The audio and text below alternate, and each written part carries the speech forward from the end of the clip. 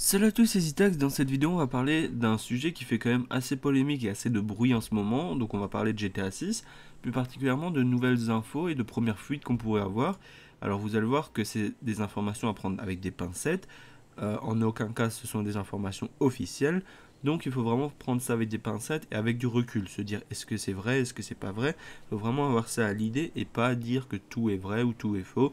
Voilà. Donc déjà, on va parler d'un utilisateur de Reddit qui s'appelle Jack O Lantern 1982 qui a publié un très long message dans lequel bah, justement il indique avoir mis la main sur les données relatives à GTA 6.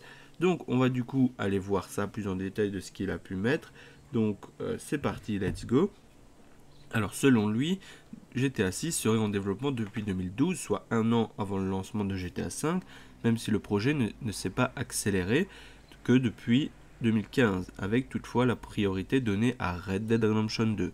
Il s'agira d'une production Rockstar Worldwide, donc comme vous le savez, il y a différents euh, types de studios chez Rockstar, hein, donc ça, peut pourquoi pas correspondre, je ne sais pas en tout cas. Euh, ensuite, son nom de code en interne est Project America. Il sera situé à Vice City ainsi qu'un nouveau lieu situé à Rio de Janeiro avec également quelques missions à Liberty City mais pas possible de visiter la ville. Le jeu devrait être un peu plus réaliste que les précédents volets et un peu moins arcade. Le joueur ne choisira pas son personnage, il s'agira d'un homme et d'un seul, pas d'un trio comme dans GTA V. L'aventure se tiendra dans les années 1970-1980 le joueur incarnera Ricardo, un criminel qui débute au bas de l'échelle pour transporter de la drogue pour de puissants trafiquants avant de gravir les échelons et d'installer votre propre empire. Le jeu sera coupé en plusieurs chapitres. Les conditions météo prendront une nouvelle dimension avec l'apparition d'ouragans ou même d'inondations. Les bâtiments et environnements évolueront au fil du temps et des époques, tout comme les véhicules. La création de l'Empire de la drogue sera comparable à celui de Vice City, mais en 10 fois plus grande. Le joueur sera limité à deux armes sur lui. Le stock du joueur le suivra dans le coffre de son véhicule. Les sous-titres seront importants, les PNJ ne parleront que dans leur langue native. Tout sera traduit en texte, pas en audio. Le jeu ne sera diffusé que sur les consoles next-gen, hors PS4 et Xbox One.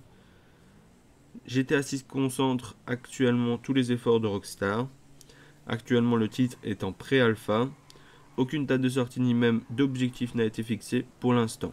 Du coup, ça fait énormément d'informations à la suite. Bien entendu, il faut différencier ce qui peut être vrai, ce qui peut être faux. Comme dit, ce pas des informations officielles, donc on ne peut pas savoir ce qui est vrai et ce qui est faux.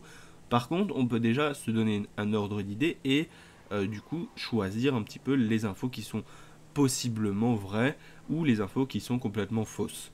Donc déjà, GTA 6 serait en développement depuis 2012. Pourquoi pas? Franchement, je ne sais pas, mais c'est largement plausible, c'est largement possible, parce que justement, ben, un jeu ne se fait pas en deux ans ou en trois ans, il faut du temps. Donc c'est possible que même avant la sortie de GTA 5, il préparait déjà le prochain. Ça, je peux le concevoir. Pourquoi pas? Après, chacun son avis. Euh, ensuite, on a du coup le nom de code interne Project America. Ça, je ne sais pas comment il a pu obtenir cette information-là comment il a pu justement savoir ça, mais on, ça pour le moment ça sera impossible à prouver et impossible à savoir si c'est vrai ou pas. Le lieu, donc il nous dit que ça sera à City. Pourquoi pas Avec une nouvelle ville Rio de Janeiro et quelques missions à Liberty City, mais on ne pourra pas visiter la ville. Pourquoi pas Ça serait un petit peu comme Northampton, c'est-à-dire qu'on avait des missions sur GTA V, mais on ne pouvait pas y aller euh, pour visiter la ville Admettons que ce soit vrai, je ne sais pas. Euh, ensuite, il nous dit que du coup le jeu serait moins arcade que les précédents. C'est plutôt une bonne chose. Euh, le fait qu'on n'aurait que un personnage qui s'appellera Ricardo, ça je ne sais pas. Franchement, j'ai un petit peu des doutes. J'ai même beaucoup de doutes sur cette information-là. Euh, les conditions météo, ça serait vraiment super qu'il y a des ouragans, des inondations, des tempêtes, euh, que la météo change au fur et à mesure, tu vois. Donc ça, ça serait vraiment super nice. Par exemple, l'information, le joueur sera limité à deux armes sur lui. Ça, pour moi, c'est faux. Je pense que c'est faux. ou en tout cas peut-être que dans le mode histoire. Je ne sais pas, je ne sais même pas s'il y aura un mode histoire et un mode online, ou s'il y aura que un mode online. Pour le moment, on ne sait pas. Hein. donc euh, deux armes, ça me ferait, ça fait un peu léger, je trouve personnellement. Euh, donc euh, voilà, il nous dit aussi que bah, le jeu sera diffusé sur les next-gen, logiquement. Donc euh, voilà, à voir après. Peut-être qu'il sortira aussi sur PS4 et Xbox One, ou peut-être qu'il sortira sur les prochaines consoles.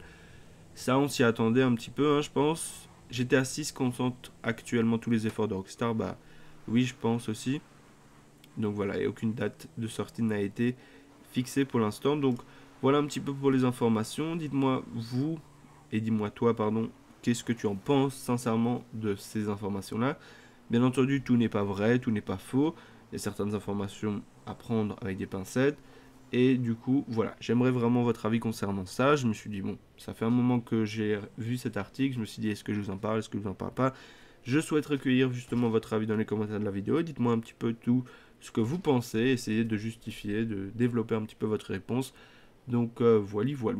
J'espère en tout cas que cette vidéo vous aura plu. Si c'est le cas, n'hésiteront pas à la bombarder de like, à la partager et à t'abonner à la chaîne si ce n'est pas déjà fait.